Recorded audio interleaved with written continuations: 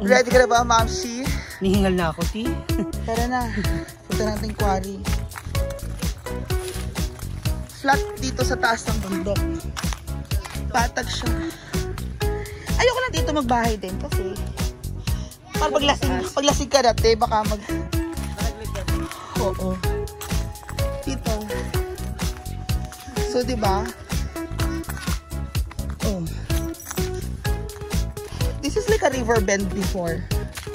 Nung mga panahon ng dinosaur, panahon ng dinosaur, river ito.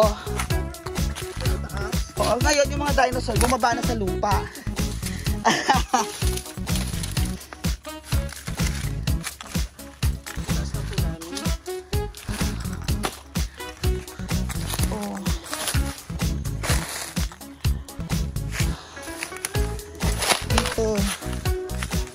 Diba? Hexagon. Pinalinis ni Uncle. Oh.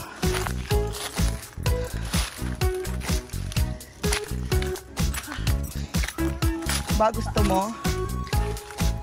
Oh. Oh, patag oh. Oh, patag sa taas. Oh. Welcome.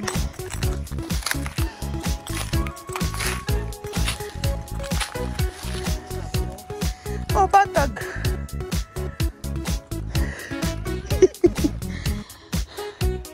Tara na.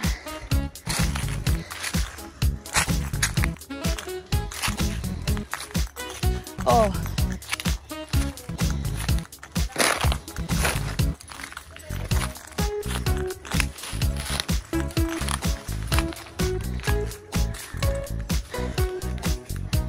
No, panay pa to dito, Mamsi. Panay pa to, oh. Patag.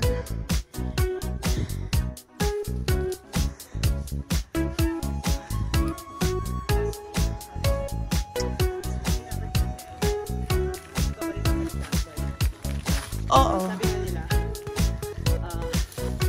Pero yung sinasabi nilang other case. Kasi ayun yung quarry na oh, layo. You wanna go there? Ayun yung quarry doon oh. Punta pa, punta pa tayo. Parang half half kilometer.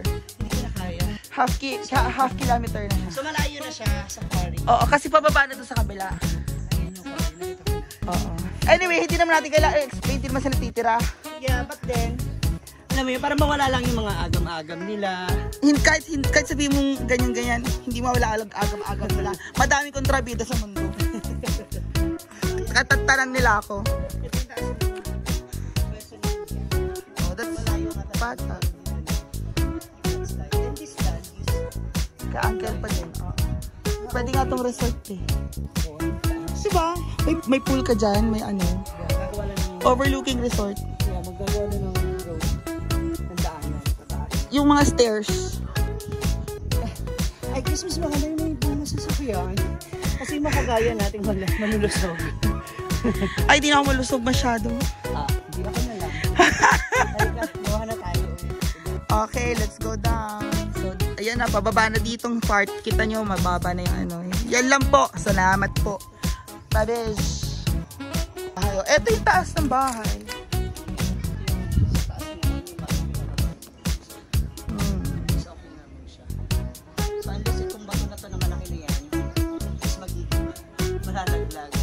Meron tayong pinball. Diyan ba?